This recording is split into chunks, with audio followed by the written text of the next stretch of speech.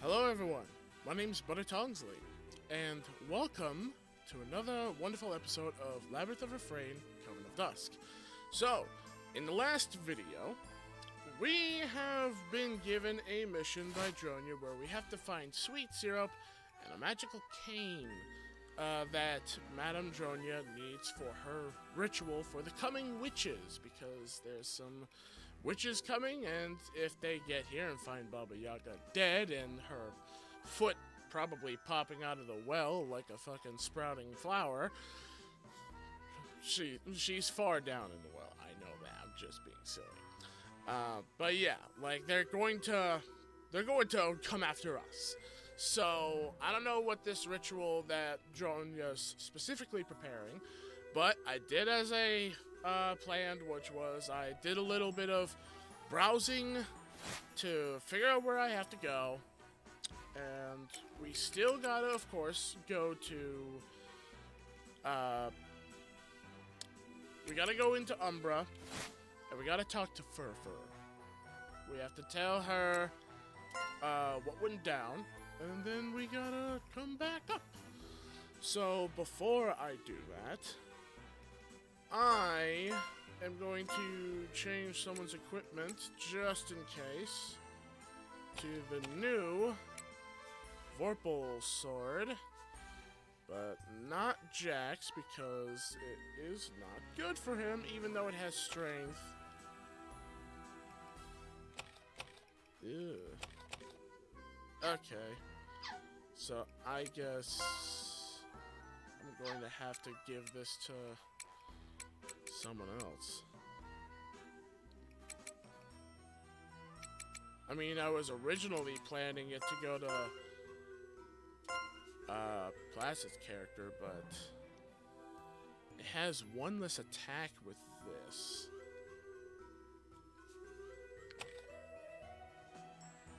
I mean, honestly, I don't think I have a choice because it's it's the best thing for them.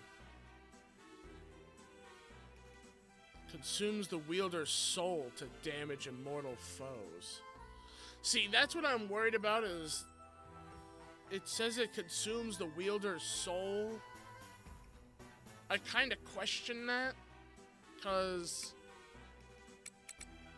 I'm worried it's actually going to do that and that's going to end up killing Placid. I really don't want to kill them at all. I love my friends. I'd rather they not get killed by a wielding a uh, sword with good stats. Yeah, I, you, you know, because it has um, some stats at Constitution, all that too. Is it can it be good for you? Because if it can be good for him, ah, not lowest defense. Okay, you know what? We'll, we'll make it a test, and if it does, I'll just make a separate person, and I will work to leveling them up, and they will be a sacrificial lamb.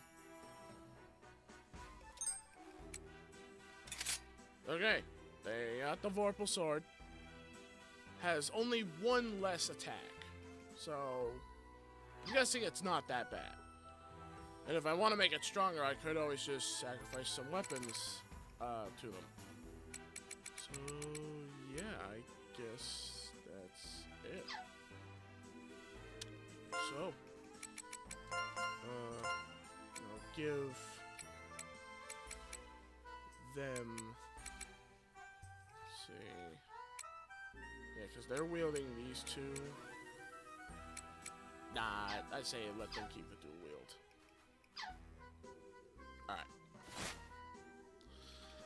I guess, yeah, that should be it. So we got the thing, and now we're gonna go to the Towers of Umbra. We're gonna head to our destination, which apparently we have to talk with Furfur. They're going to have something to talk, to talk to us about, which should be Okay, yeah, I, I see the path now. I, I see the very path. So that's where uh, she is. So we gotta go there. and apparently we could go to uh, that guy again that gave us the boosted stats, but I think it said that something bad happens. Hold on, let me let me take a look at this. Oh, okay, actually no, like it's not dangerous. Oh wait. Oh, okay, it's repeatable, but it costs 300,000 silver. Yeah, so we're we're gonna avoid that. I'm not going to worry about that because it just gives another puppet random uh, 10% stats, and I like I if I had control, I would go straight forward for it and be like, hell yeah, I'm gonna give this person stats because I already got Placid boosted stats, but it doesn't allow me to control, so we're just gonna say nah. I'm also thinking of uh, changing uh, up some of the group by maybe having the healer be in a group with uh, the assassin characters. I'm thinking about that. The reason why I'm thinking about that is because it would be nice to have a healer or at least a healing pact to like heal the group when we need it. Like th this fighting formation we have, the pincer attack is good all for uh, their health as well, but it's not good for the rest of the people that could use some health too. But I don't know. I honestly feel like I'm doing horrible with my uh, grouping choice because I don't have a healer pact active anymore. I don't know. Because I would like to have the assassins continue being able to damage. But sadly, I am not able to do that because of my current roster. But I'm being loyal to this roster because it's the roster that my friends wanted to play as. Ah! So After you. I, love when they have that chance uh, for the Raptors that they can um, they can get that special attack because of one of the passives they have where they can just do infinite strikes until the enemy dies. Sometimes I wish that happened during the fly boss fight because then I would just be able to just sit pretty and the fly boss would just be horribly murdered by onslaught of a single person firing arrow upon arrow. But sadly I wasn't given that luxury. Uh, but yeah, so I don't know, like, I feel like maybe I need to work on my pact formation in the future to kind of be better prepared for future stuff by having a group that can actually heal the team, but I do not know. It's hard to know whether if I actually do need it, need it or not. Because for all I know, I could end up, like, doing that, but then I end up not needing the healer, and the healer just constantly being focused and murder. I don't know. I have no idea. But what I do know is we are here at our destination.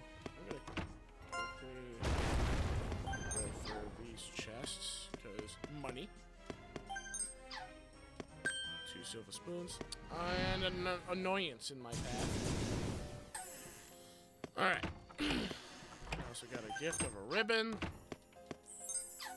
Got some Alice's cheese bread.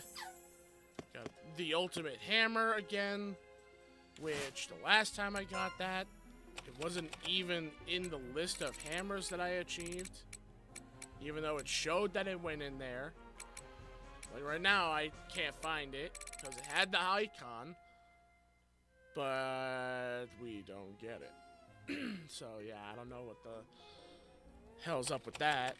And when I check the alls or the items, there's nothing in here about a ultimate hammer.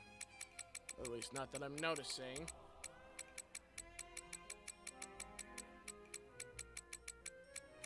Yeah, nothing. It's not a key item. It's not a soul. I just don't get it. Like, what the... I don't know. I have no idea. This might be something I have to do, is I might end up having to, uh... I might end up having to actually start using some packs that do this and just put extra people into the other slots. I don't know.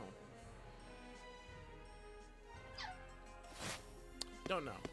Anywho, let's talk to Madame Fifi. Oh. Two witches' servants stand in front of a large gate.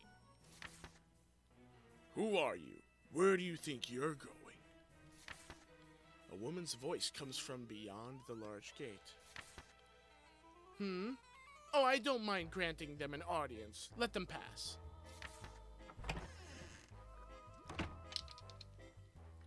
Hello, Furfur. A giant woman studies your party while she eats skewers of meat.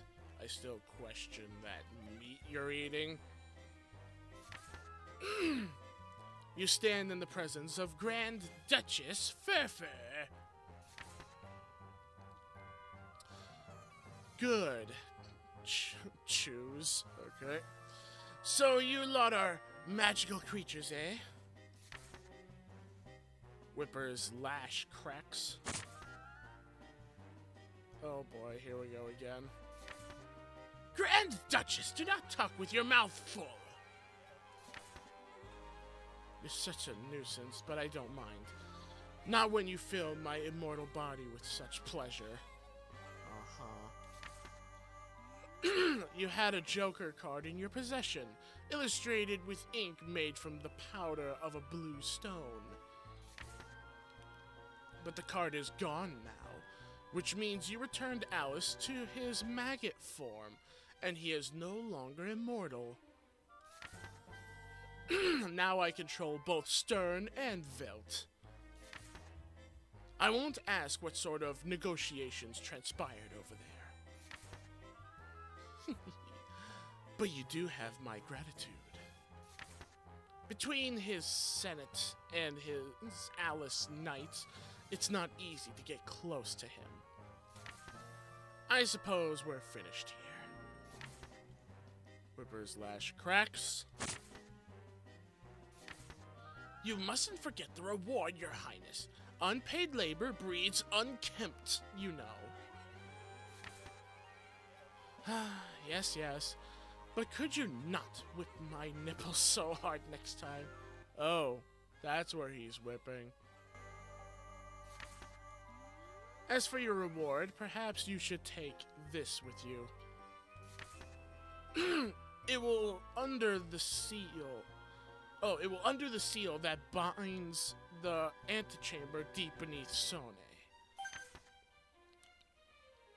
You obtain the Serpent Key. Now you can undo the seal on the gate that leads to the antechamber. Yay, we can finally progress to the next world! But that's not all. Do you want ultimate pleasure, strength, eternal youth, power, riches beyond your wildest imagination? Or would you prefer all of me instead? Okay, um, as much as I would love to indulge on whatever sort of thing you have, uh, uh planning there, I'm gonna say I'm just gonna stay. Uh, la, la, la, la, la, mm-hmm. uh, I'm just gonna stay uh, silent. Hmm.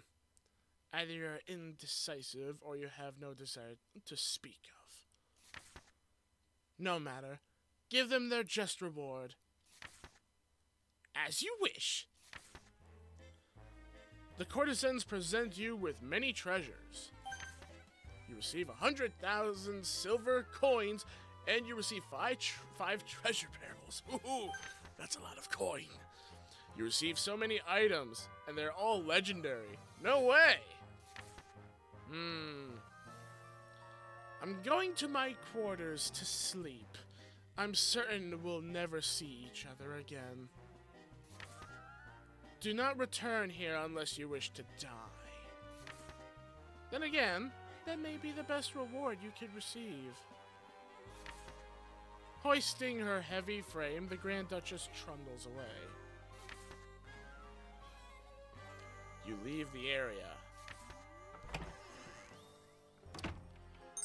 Okay, I obtained the Serpent Key, 100,000 silver coins, 5 treasure barrels, uh, Beastly Paradise Sword, uh, Splendid Matador's Cape, Sensual Donum Earrings, Dream Glass Slippers, Daring Carrion Armor, High Bold High Gauntlet, Venom Carrion Veil, Dis- Diseased Comet Scythe, Obscene Main Gach, Odorous Brigadier Coat. Ew. You obtain five bottles of infatuating perfume. Okay, I got quite a bit of items. I would like to take a look at some of those. Like, how about that, uh, how about that blade? I was worried that my choice was gonna end up me having to, oh, okay, so that's a blade too. This one has another minus one attack, but it has increase in agility. So I am. it has more increase in strength than the agility. That's what's weird is like these are swords, but they're giving me swords that like has strength in it. And the main stat of the assassins is agility. I'm gonna give him that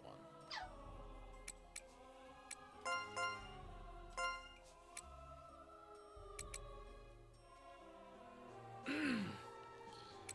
uh, yeah, I'd say we're pretty much good now. We don't need the Vorpal Blade right now because it's uh, not something we have to worry about using. I was worried I was gonna have to use it. But I am gonna now head to the antechamber. It is time to go to that antechamber, which involves me having to go all the way back two more floors. Yeah.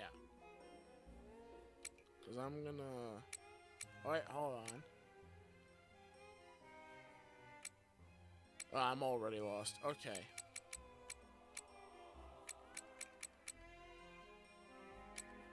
Okay, I'm gonna have to go back up six floors in order to get to where I have to go.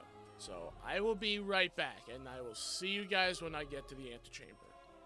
And here we are at the antechamber. There's a thing back there, but I want to get into here so I can finally get the things I need. Uh, you need a Furia key to open the treasure chest. Okay. Hey, I got the fruit syrup. Although it said I needed sweet syrup. But it says to report to the witch. So... You see a strangely decorated antechamber. Enter? Yes. Yay! New dungeon has been added. So now we can go to Amadius Necropolis. A labyrinth with separate floors above and below its ground floor. Its miasma is noticeably dense. Oh boy. Alright. Well, we got that unlocked. Wait, can't I just return from here? Yeah, base. There we go. So we have a new antechamber that can also bring us to a, a separate spot of Umbra to get to places quicker. And I did a little bit of like digging while I was also checking out to make sure if there's anything that I might miss. There's some optional stuff here in Umbra. Whether I do it or not in a future video, I think will depend on how events go. If maybe I need like some more like big experience or maybe like something that they can get offer because I want to continue the story. Um there's an exclamation point that we passed going in here which apparently leads to an optional boss fight versus uh, Alice again. So I feel like even though Alice is no longer immortal, it would be a very bad idea for me to fight them because they're probably still going to be really, really hard, especially with how much damage they did to us before. Because they just turned back into a maggot. That doesn't mean they lost their power, at least not that I think. Sorry, I had to clear my throat. um, so yeah, like, I just decided we're gonna hold off on that, and sometime I'll come back and do that fight. But, for now, let us go back to the base, we're going to save, and we're going to end off the video here. I know I normally like to go immediately to the witch reports, and I have a itch right here on my ear. I know I uh, go immediately to the witch reports, uh, but I'm actually all out of time for this video. It's around 35 minutes, and I've already gotten a good amount of stuff done in this video. Uh, so, in the next video, we are going to see this witch report, and no doubt we're going to delve right into that new place that we've unlocked that looks like a crypt, and it's probably going to be full of undead creatures, and I'm going to probably have nightmares. So, with that being said, thank you all so much for watching. Hope you all enjoyed the video. If you did, leave a like, subscribe, and ding the bell so that you guys can stay notified of the content that uploads onto the channel, and to help support it. And as always, I'll see you all in the next video. Take care, of you please. Have a wonderful, safe, and healthy day. Bye, everyone!